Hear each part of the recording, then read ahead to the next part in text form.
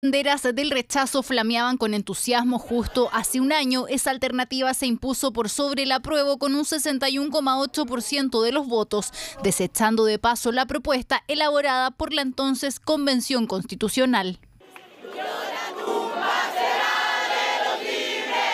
Quienes apostaron hace un año por el rechazo celebraron y recordaron este lunes el triunfo de esa opción.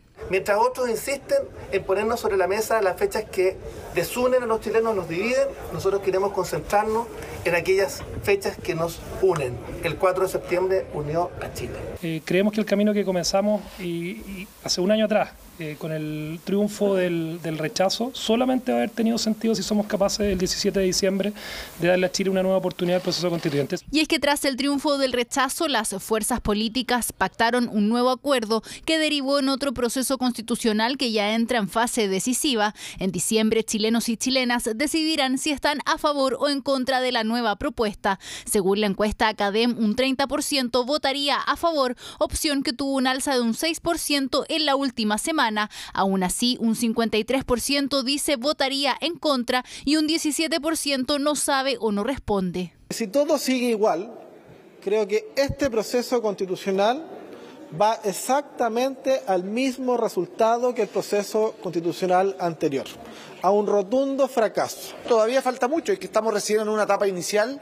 Nosotros valoramos que se hayan retirado algunas indicaciones que nos parecían eh, un tanto extremas en algunos temas y esperamos también poder llegar a la mayor cantidad de consensos. Consensos que esperan algunos en medio de la votación de las enmiendas en las comisiones, en las cuales se han producido intensos debates por las indicaciones propuestas del Partido Republicano, que el pasado viernes retiró cuatro de las más polémicas, entre ellas la propuesta para que mayores de 75 años puedan cumplir condenas en sus domicilios, una idea interpretada por el oficialismo como un perdonazo para los reos de Punta Peuco condenados por violaciones a los derechos humanos. La experiencia de la convención en la que obviamente se cometieron errores, no justifica de ninguna manera los horrores que hemos estado conociendo a través de las enmiendas de la derecha y particularmente del Partido Republicano.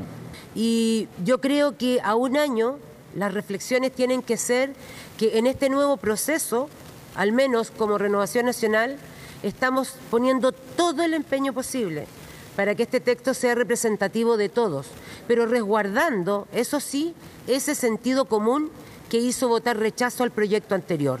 La discusión de las enmiendas en las comisiones será hasta este miércoles y la última palabra la tendrá el Pleno que sesionará hasta finales de septiembre. El 7 de octubre el texto será devuelto a la comisión de expertos que tendrán cinco días para hacer observaciones.